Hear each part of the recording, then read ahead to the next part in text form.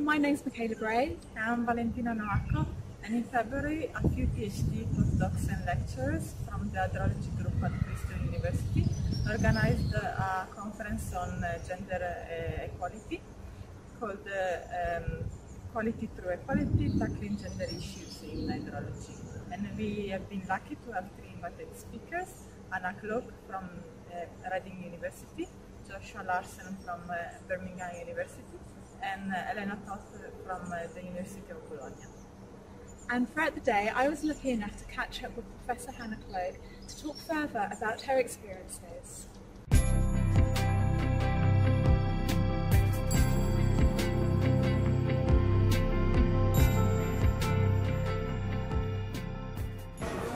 Hannah, you're a full-time professor at Reading University and also busy mother of four children. How do you fit it all in? Yeah, so I, I have a full-time job at Reading University um, and I'm a professor of hydrology there. So I have a busy role there. Um, I lead a research group, flood forecasting and many other exciting hydrological things.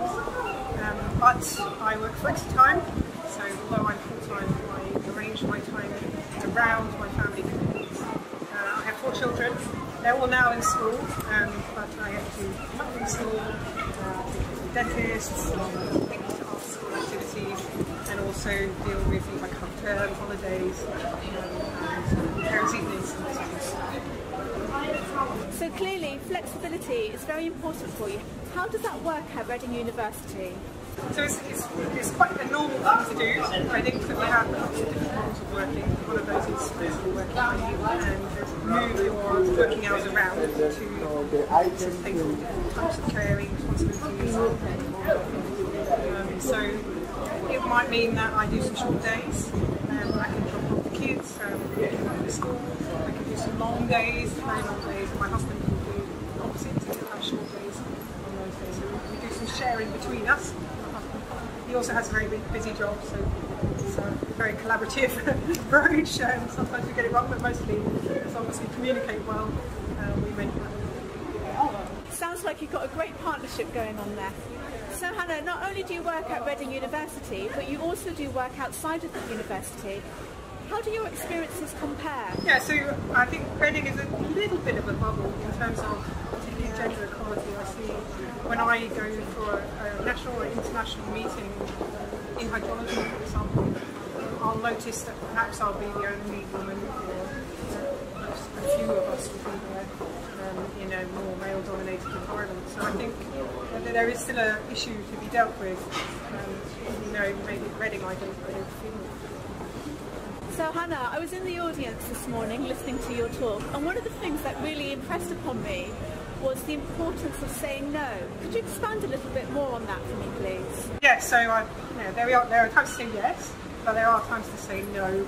Um, you need to stop before you're exhausted, overwhelmed. Um, that's, it's very tempting to just say, I've got to keep going, I've got to keep on this treadmill, I've got to grab every opportunity, but it's right to say no um, sometimes.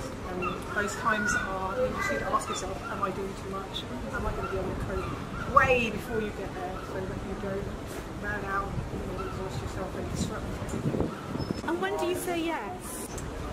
So I ask myself, normally, it's normally things like um, say yes to the things that you think you can't do, you're too scared to do. So uh, it might be terrifying to speak in front of people, or um, maybe to work with government or something really scary.